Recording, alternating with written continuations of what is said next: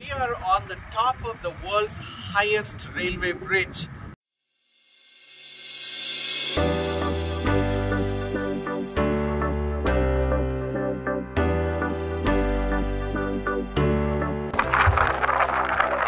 Hi, hi, my name is Ram. I run an architectural firm in Pune called CCBA Designs. Right now, I am at the viewpoint of railway bridge, which is called the Chenab Bridge, which takes its name from the river Chenab, as you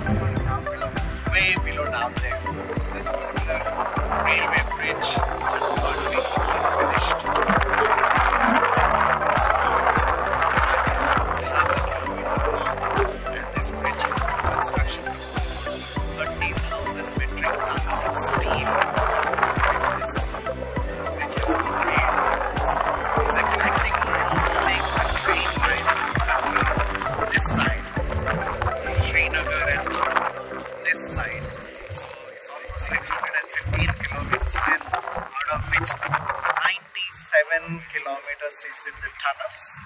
Uh, the longest tunnel in this section would be almost like 12 and a half kilometers, and about 7 kilometers is the bridges.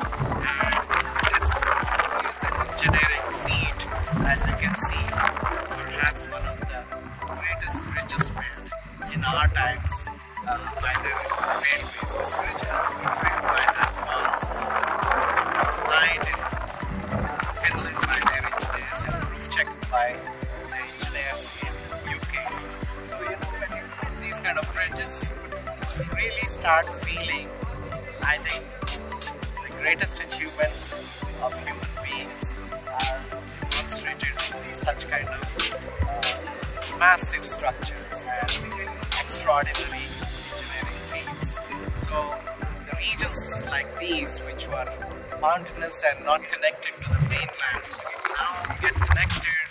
There's going to be prosperity, trade, economy, uh, cultural exchange, and so they won't be that well, that that kind of disconnected. So bridges like this truly connect everything: economy, culture, trade, and well-being. Thank you very much.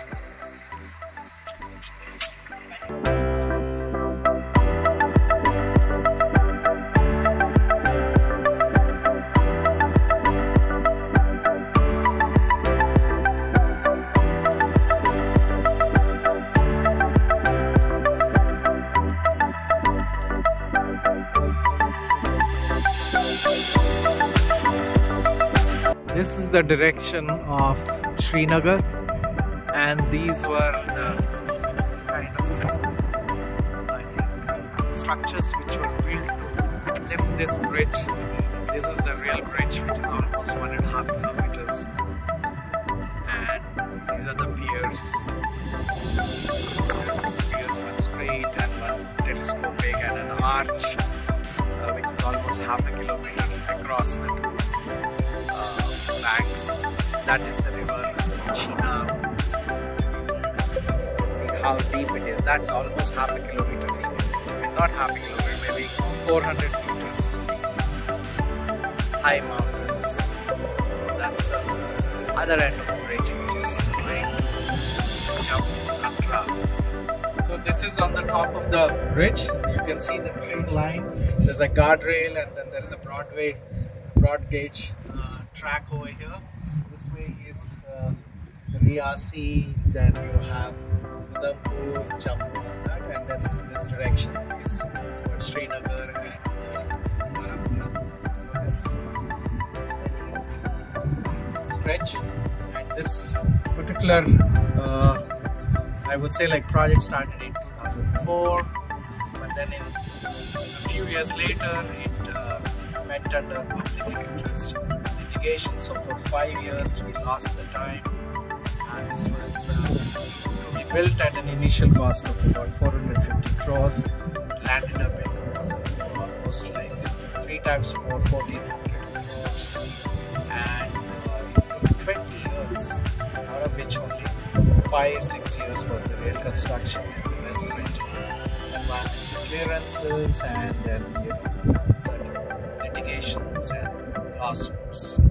So, friends, this is the line which connects the whole region.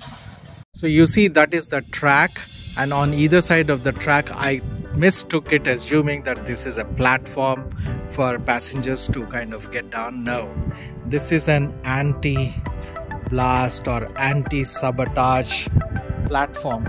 That means like even if a bomb is dropped over here, it will not create a crater and uh, destroy the bridge. So all kind of security measures have been taken and uh, this is beautiful to see.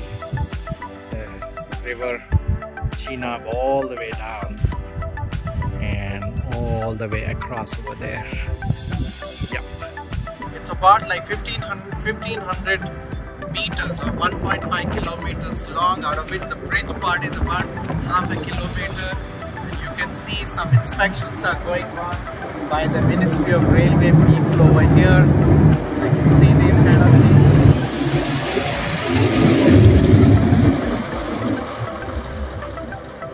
So so this bridge is almost 500 meters away see this yellow line? This is the connection of the two arches coming like this. This is the midpoint and the highest point 359 meters above the bed of river Chenab so you can imagine I am on top of Eiffel Tower. Eiffel Tower is 330 meters so about 20 meters higher than Eiffel Tower over here. And this is con connection is called the golden connection. If you go down over here you can see out there the river Chenab is almost 360 meters below the so friends this is the world's highest railway bridge on river Chenab in Jammu and Kashmir in India. And I'm you